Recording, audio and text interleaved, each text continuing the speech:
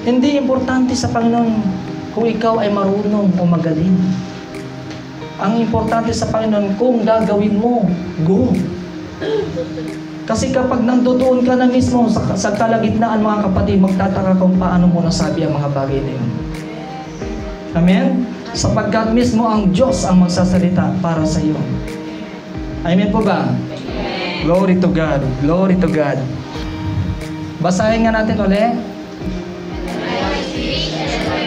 Preaching were not with persuasive words of human wisdom, but in demonstration of the Spirit and of power, that your faith should not be in the wisdom of men, but in the power of God. Okay.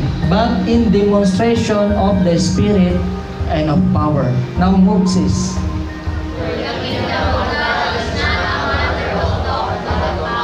Ayun. For the kingdom of God is not a matter of talk. Hindi lang sa salita, mga kapatid. Kundi sa kapangyarihan ng Diyos.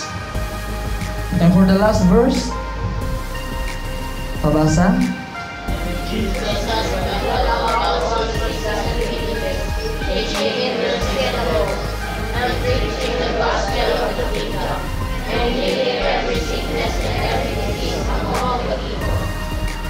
Okay. Number one, Jesus went about all.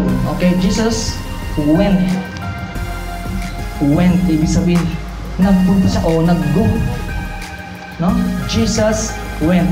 Ang aga pa niya.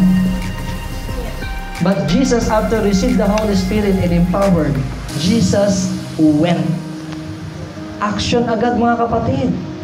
Kasi patay ang pananampalatayang walang gawa.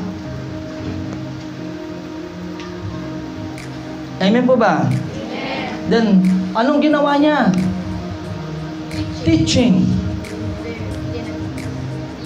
Amen? Went teaching. Preaching. Then after that, ano? Healing. Because for the kingdom of God is not a matter of talk, hindi lang sa salita, but of power.